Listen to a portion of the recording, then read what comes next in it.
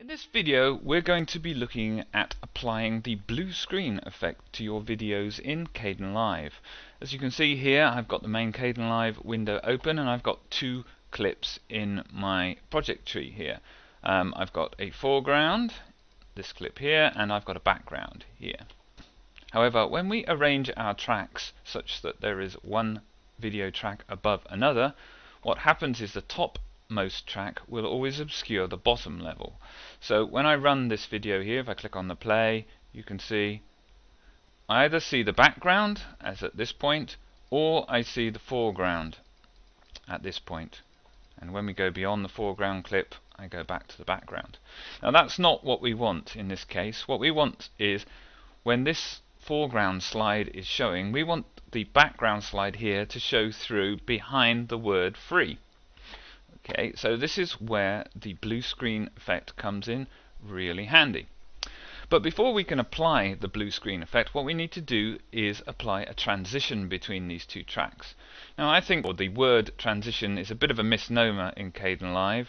Um, it can be used to transition between one clip and another, but it can also be used as a blend tool between two different layers. So what I'm going to do here is I'm going to click down in this bottom right hand corner to create a new transition. Now by default Kdenlive will create a dissolve transition.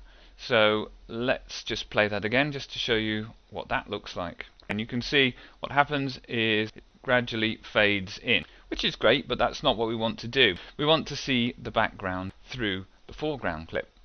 So I need to change the type of transition here from dissolve to composite. Okay, so there are lots of different parameters that you can play around with here, but um, in this case we don't actually need to change any of them, we can just accept the defaults. If you want to get into more complex blending, then you can obviously play around with some of these parameters here. Okay, so we've got our composite transition in place. What do we need to do next? Well, we'll click here on this effect list tab and then we open up the category called alpha manipulation. So I'm going to double click on that and you can see under here is our blue screen option. So I'm just going to take that and drag it to my foreground clip and drop it on. Okay, so we can see it says blue screen here, so that's applied the function. But if we click down here in the timeline again, we still see either the background slide or the foreground slide, but not both together. Okay, so what's going on here? Well, the thing is that we haven't set the actual color of the chroma key used in the blue screen effect. So what I'm going to do is if you actually go click on the um, foreground clip again and then resize this box in the middle, you can see here our background color is set to a blue.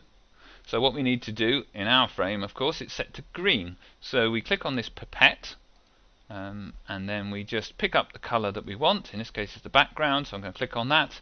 And immediately you can see it's replaced the green background with a composite of the foreground here, which is these these letters, the red letters here, and the background slide, which is our black background with the earth, etc., and our website address. So we've finally got there. This is our composite image. So if we play that back, we'll see that we've got the background, then we've got the composite of them both, then we go back to the background.